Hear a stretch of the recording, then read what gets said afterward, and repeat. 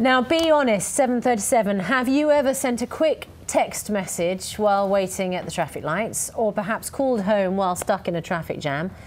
Despite it being illegal to use your mobile phone behind the wheel, many people still risk a fine and points on their licence. Yes, uh, most people agree it's not safe to talk uh, on a handheld mobile phone while driving, 9 out of 10. But a fifth admit that they have held a mobile phone while either driving or waiting at lights. So is it a cultural problem of some sort then? A survey today suggests that more than a third of people actually feel obliged to answer a call, mm. text or email while they're behind the wheel. In a moment, we're going to talk to a psychologist about what makes people so attached to their phones and get legal advice from a leading solicitor. But first, we asked you why so many seem to be flouting the law.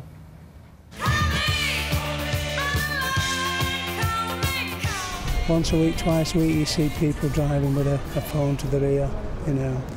Uh, what amazes me, people can actually turn corners as well doing it, you know. Unbelievable. My grandchildren are out there on those roads and they would very soon get knocked over through somebody's irresponsible behaviour. Whether they're talking to a speakerphone or whether they're doing a quick text message, you know, they're thinking about going and picking up their kid, but they're not thinking about other people's children. I know from bitter experience myself in the past, you, you, you get distracted and you, you, no matter how clever you think you are, you are distracted when you use your mobile phone. End of. With us now, Jeanette Miller, who a solicitor who specialises in motoring offences, and uh, Mark Beatty, who's a psychologist from Manchester Business School. Good morning, morning to you both. Morning. Jeanette, let's be clear mm -hmm. about the law. It's been in force for several years yep. now what can you and can you not do? Well, the offence was first introduced in 2003, but it was fine only then. And then in 2007, the um, legislation was amended so that it became an endorsable offence. So you can get three penalty points. And a for doing what? For being on an interactive communication device, a handheld device. So that can extend not just to mobile phones or smartphones, but to sat-nav devices which require you to hold them or to use them with your fingers, leaving the steering wheel to actually operate them. And it's any two-way communication device where you're um, involved in getting it on the internet or receiving or sending communication data. It does exclude two-way radio, so you're allowed to use your radio and not be, be caught by this hmm. offence. And if your phone is on speaker? If your phone's on speaker, strictly speaking, you're committing the offence if you're having to operate it by sending or receiving by using your hands. So it, it's not sufficient to use your phone on speaker. And yet, Mark, so many people still do it. And you know, from the numbers of emails, texts, and our own experience, we've hopefully seen, while they're not driving. No, yeah, of course. Um, but we all see people on their mobile phones using them with apparent impunity. Mm -hmm. I think the main reason people do, there are probably several reasons. The primary one is we're mainly social animals. We're driven to spend time with one another, to want to interact. Sat in the car, maybe slightly bored, slightly distracted, it's very easy to think, oh, I'll get in touch with somebody. Then the other main reason people do it is they often underestimate the risk to themselves whilst overestimating the risk for others.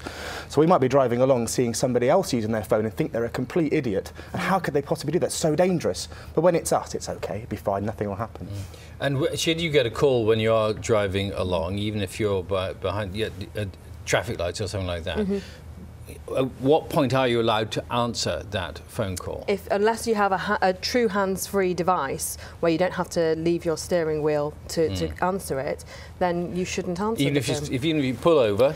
You have to have your engine off. So you've got to pull over, park yeah. up, switch the engine off. Correct. Yeah. Okay. Mark, we've changed people's behaviour when it comes to wearing seat belts. So how can our behaviour, our mindset be changed about the use of mobile phones? I think the first thing is probably a recognition of why there might be a problem. And I don't think many people realise the danger they may face when they're using their mobile phones, be it for texting, phoning or social media. I think they really realise how dangerous it might be. So the first stage is for people to realise what dangers might lie and then what to do about it. So some of the things about the pulling over, turning over off the engine, mm -hmm. using hands-free kits, so provide them with a route of what to do next, so not to break the law. So do we need, I mean, in, these things are expensive, aren't they? But a public information campaign, adverts on the television, do you see a lack of that leading to people thinking that it might be something they can get away with. I'm not sure whether that's why uh, or that that's necessarily the best route, but certainly uh, taking a route of, of, informing people of what the dangers might be would be a very good start.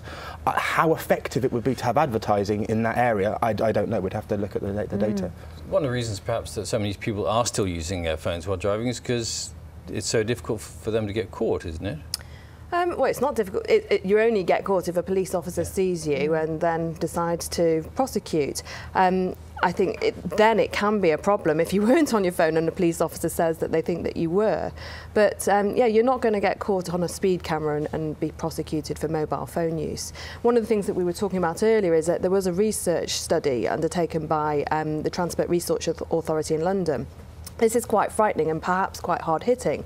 If you're drinking up to the legal limit, then they estimated that your reaction times would be reduced by 12%. Now, they did a similar study with people that were texting whilst driving. Texting. And, yeah, and they said that your reaction time to certain stimuli in that situation would be reduced to 30, by 35%. So almost like three times the limit of drinking. Now, not many people would get in the car voluntarily having had three times the limit. So I think education is an issue. Um, I think campaigns could well be needed on something like this, particularly yeah. social media use. All right. Jeanette, Mark, thank you both very much. Thank you. Yeah, thank you. 7.44. You're watching Breakfast from BBC News. Let's update you on our